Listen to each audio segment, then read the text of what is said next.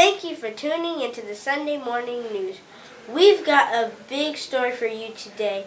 As religious systems become intertwined with social norms and expectations, we begin to think what is real, what is true. And so, during this part of the year, we arrive at Easter. Let's go to the investigative reporter, Miles.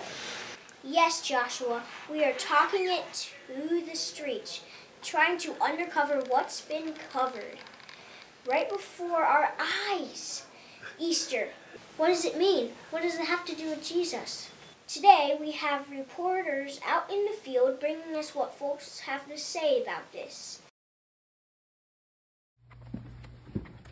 What does the Easter Bunny have to do with the God, this Jesus? Nothing, but it don't hurt to ask Jesus to send us some jelly beans and some Easter eggs, which we would really love. Happy Easter. Wow! Thank you. What else is out there? Wow, Miles, this is some quite interesting information, Miles. Very intriguing information. Mm-hmm. Yes, it is. Yes, Joshua, we are getting to the truth. This is investigative reporting at its finest. Wait, we have John Pierre and John Christian coming in. Guys, are you there? Well, actually, I'm glad that you asked that question. Easter is named after the celebration spring equinox. Equinox? What is equinox? That's when people believed in the moon and the sun and believed things like the eclipse was a special mysterious sign. The eclipse.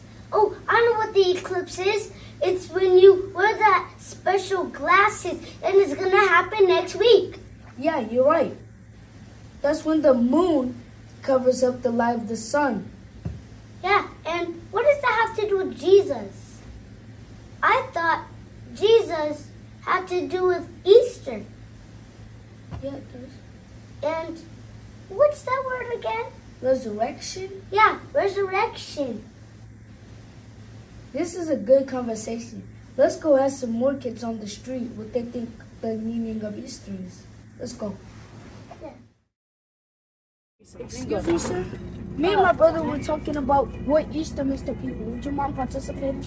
No problem, Mom. I got you. To me, Easter means that celebrating Christ and how he rose from the dead three days after he was supposedly died on the cross. To me, that tells me that Jesus can perform miracles. And what about the Easter bunny? What does that mean to you? The Easter bunny, that one, there's nothing wrong with it, but like, that was just something for the kids. Something fun. But the true meaning, meaning is about Christ rising from the, arising from the dead after he was, was crucified. Thank you, sir. Have a good day. You too. Excuse me? Yes? My brother was discussing Easter. Can you tell me what Easter means to you? Yeah, it's really when you when the Easter Bunny gives out candy to people and you have some egg hunts, and when you take some pictures of the Easter Bunny.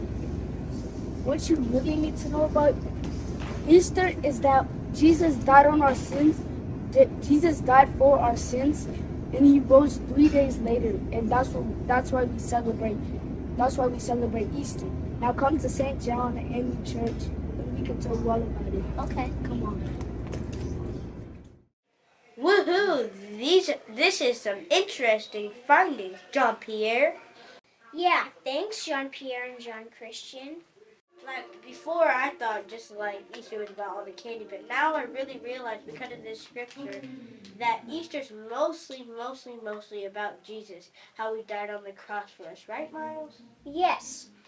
As he said, at my school, I learn about Jesus, and the gospel talks all about Jesus and his birth, his sacrifice, his death, his resurrection, his burial, and we want to remember that instead of saying, Yay, Easter Bunny! And that's not really anything to do with what's really in store about the holiday. And really, if we didn't have like the Easter bunny and everything, we should still celebrate Jesus. And mainly, it's just about Jesus. If we didn't have candy, I'm sure we would be fine with it because we're Christians. Yes. As my father says, dates are nature's candy.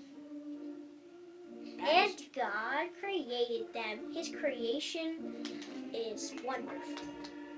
Very, very wonderful.